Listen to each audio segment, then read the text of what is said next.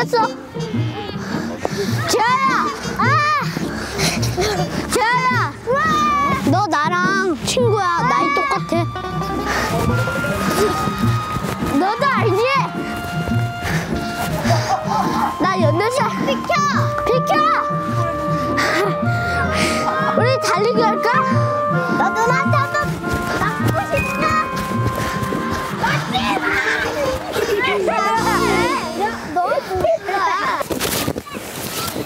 너 몇 살이야? 일곱 살. 나 일곱 살이야. 우리 그럼 세 명 다 친구야. 그래 알아. 근데 근데 내가 키는 더 커. 그래. 얘들아!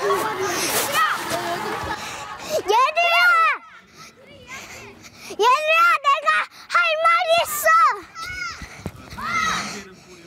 얘들아 어 그런데 똥을 참으면 어 그런데 똥을 참으면 안 돼. 그럼 변비 걸려. 죽어. 응. 죽으진 않아.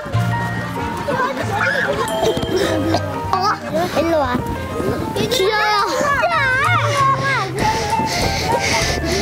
우리 동갑이잖아, 그치? 어? 뭐라고?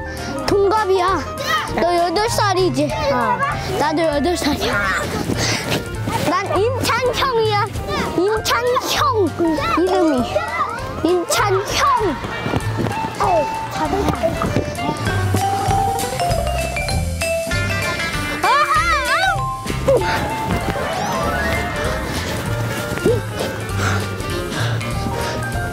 좋아요. 그럼 우리 아이들 모아보죠. 자, 자, 자, 빈공주 이리 와.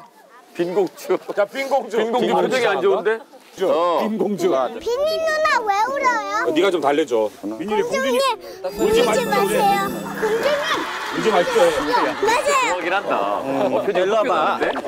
맞아요. 어, 야, 민일아 해봐. 공주님 해봐. 공주님. 그럼 네가 이렇게 머리를 쓰다듬어 주는 거야. 이렇게. 다시 해봐. 자, 찬이 해봐. 공주님. 예, 예. 야, 금방 풀리는데? 자, 집중, 쭉. 집중.